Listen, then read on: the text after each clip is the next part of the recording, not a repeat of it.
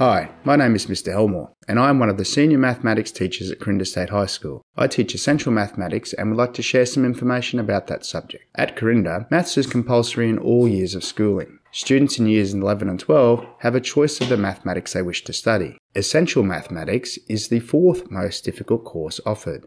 In essential maths, you study topics such as money, graphs, measurement, and probability. The assessment for this course is primarily examination based but students are required to complete written assignments too.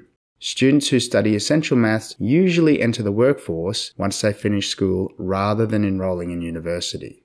We have lots of visitors to our school, and you'll have the opportunity to meet and interact with other international as well as Australian students who enjoy studying mathematics.